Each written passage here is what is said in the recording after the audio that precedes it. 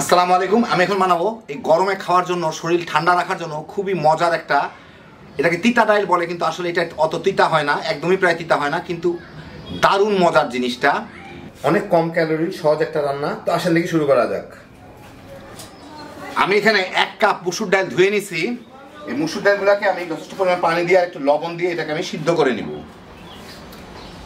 ডালটা সিদ্ধ হয়ে গেছে আমি এখন চুলার জালটা বন্ধ করে দিব। ডালটাকে আমি একটা বড় প্যানে নিয়ে নিছি যেটার মধ্যে রান্না করব, একটু পানি দিয়ে নিছি পছন্দ মতো পানি, পরিমাণ মতো, যার যার পরিমাণ মতো। এখন এর মধ্যে লবণ দিয়ে দিব, লবণটা প্রথমে অল্প দিছিলাম, এখন বাকি যেইটুকু আমার প্রয়োজন, আর অল্প একটু হলুদের গুঁড়া দিয়ে দিব, যার যার পছন্দ মতো, যার যে যেরকম রং চান। এখন এইটাকে আমি জাল দিতে থাকব। পাশের চুলায় নিয়ে, আর এই চুলায় আমি সবজিগুলোকে রেডি করব। আমি একটা কড়াইতে তেল গরম করে প্রায় দুই টেবিল চামচ, আমি এর মধ্যে এক চা চামচ পাঁচ ফোড়ন ফোড়ন দিব। সাথে এক চা চামচের মতো জিরার আস্ত জিরা দিয়ে দিব। আমি কিন্তু রান্নায় সরিষার তেল ব্যবহার করতেছি।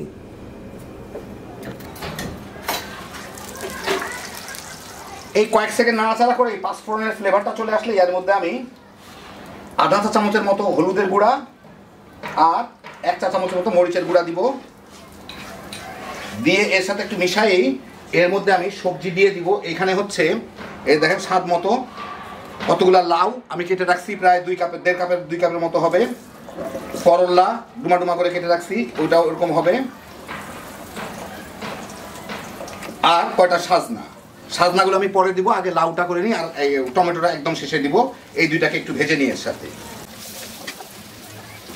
অল্প একটু লবণও দিয়ে দিই। একটু ভেজে করলাগুলোতে হালকা হালকা একটু বাদামি দাগ লাগা শুরু করলে আমি এর মধ্যে সাজনা টমেটোগুলো দিয়ে একটু ভেজে নিব।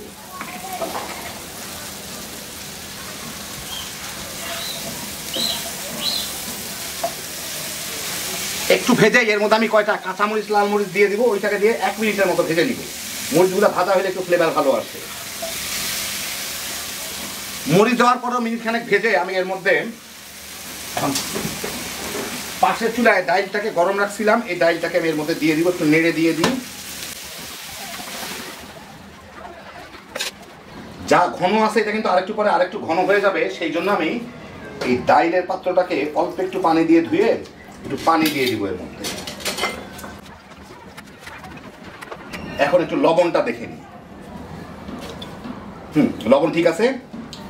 এইটাকে আমি এখন ঢেকে জাল দিব। সবজিগুলা সিদ্ধ হওয়া পর্যন্ত।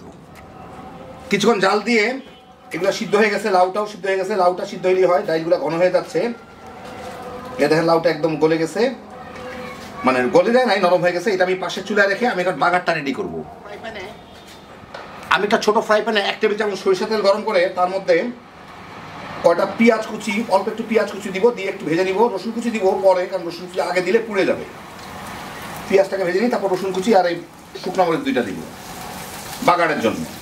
যারা নিরামিষ খাইতে চান, তারা বাগারটা না দিলেও পারবেন, এমনি এটা টেস্টি হয়।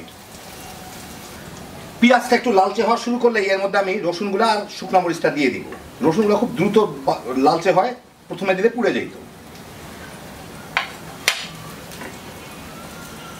এখন এটাকে বাদামি করে একটু ভেজে দিব পছন্দ মতো বাদামি হয়ে ভাজা হয়ে গেলেই দ্রুত হয়ে থাকে এটা। আমি এটাকে উঠায় নিই, নিয়ে ডাইলটাকে নিয়ে আসি। পাশে চুলে রাখছিলাম, ডাইলের মধ্যে এখন এটাকে দিয়ে এটাকে একটু ভালো মতো মিশায় মিনিট খানেক জাল দিয়ে নিব, যাতে বাগারের ফ্লেভারটা চলে আসে। একই সাথে আমি আবার দুইটা কাঁচামরিচ দিয়ে দিছি এর মধ্যে, একটু ফ্লেভারের জন্য। একই সাথে কিছু ধনিয়া পাতা কুচি দিয়ে দিই। দিয়ে ঢেকে মিনিট খানেক রান্না করি এটাকে, তাহলে এই ফ্লেভারটা চলে আসবে এর মধ্যে।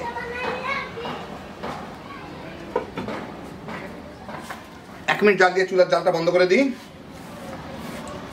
এগুলো কিন্তু সব তলে গিয়ে পড়ে থাকে, অনেক ঘন জিনিসটা।